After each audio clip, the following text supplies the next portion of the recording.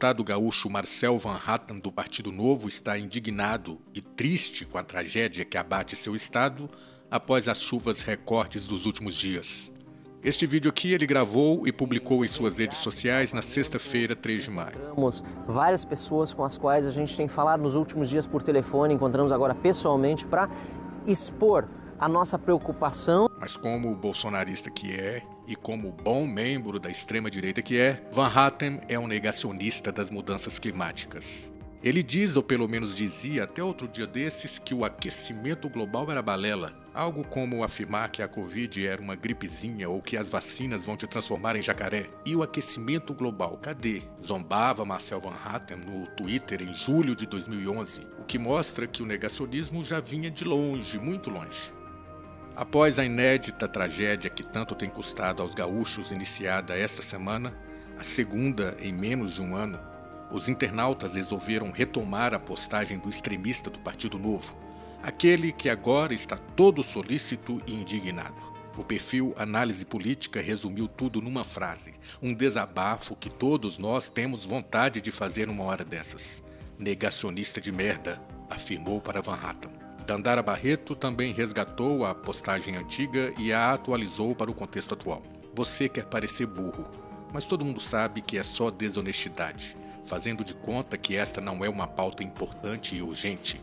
A boiada vai passando, como diria Ricardo Salles, que imagino que seja um guru pra gente como você. Mauro Cordeiro foi cirúrgico, envelheceu muito mal esse post. Marcelo Cunha, calado, é um poeta.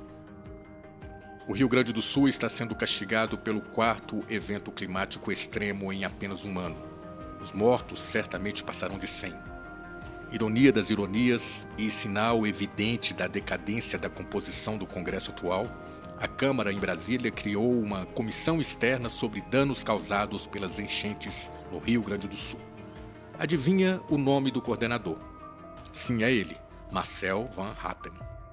Esta é uma foto de reunião da comissão que ocorreu esta semana na Assembleia Legislativa em Porto Alegre. Repara quem está na mesa. Sim, é ele, o ex-vice-presidente de Bolsonaro e atual senador pelo Rio Grande do Sul, o general Hamilton Mourão. No início dessa década, em 2021, quando era vice-presidente, portanto, Mourão abriu um seminário online sobre a emergência climática. O evento contava com a presença de especialistas, bem entre aspas, como o meteorologista Luiz Carlos Molion, que disse no seminário que aquecimento global antropogênico é mito. Há sete meses, esse mesmo Molion, incensado por Van Hatten e Mourão, foi à CPI das ONGs no Senado. Em sua fala, o professor negou que o desmatamento da Amazônia afete o clima global. Mas o pior pode ter vindo de um certo vereador do Rio de Janeiro. Carlos Bolsonaro, do PL Carioca, postou em 20 de abril, portanto, há menos de um mês e há apenas 10 dias da tragédia no Rio Grande do Sul. O filho de Jair Bolsonaro postou um libelo contra a ciência que alerta para o aquecimento global. Vale tudo para tentar fazer colar a fantasia delirante das mudanças climáticas, até dizer que elas agravam a pobreza mundial. O que agrava a pobreza são a falta de liberdade econômica, a estatização, as regras ambientais draconianas e lógicas, os protecionismos sem sentido, a taxação ensandecida, etc. Esta é mais uma tentativa de constranger as pessoas e fazê-las adotar a agenda verde fanática dos globalistas da ONU e do Fórum Econômico Mundial. Cai quem quer. Disse Carluxo, o filho 02 do ex-presidente, hoje inelegível. Pois é, cai quem quer. E não acaba aqui a hipocrisia, o populismo e a falta de vergonha na cara dos bolsonaristas na tragédia gaúcha. O deputado Paulo Bilinski teve a coragem de ligar Lé com Cré. Opinião: cancelar o show da Madonna e destinar os 20 milhões para o Rio Grande do Sul. Quem concorda? Claro que ele sabe que o show foi bancado na maior parte pela iniciativa privada e a parte pública veio da Prefeitura Carioca, em gasto que inclusive será compensado pela receita de turismo, comércio e imagem para a capital fluminense. Mas a ideia é dar um jeito de confundir e botar o governo Lula na história. O perfil Pensar a História questionou o deputado extremista. Deputado seu partido é o que mais recebeu dinheiro pago do bolso do povo brasileiro na forma de emendas parlamentares. Nós, o povo brasileiro, pagamos do nosso bolso 1,8 bilhão de reais para o seu partido. Dava para pagar shows para quase 100 Madonas.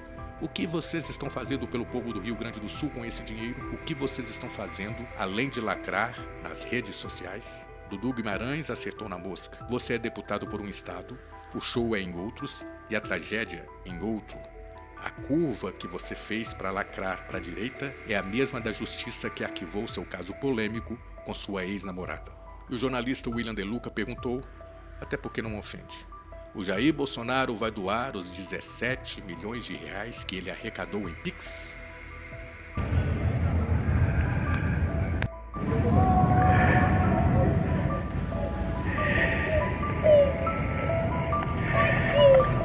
you.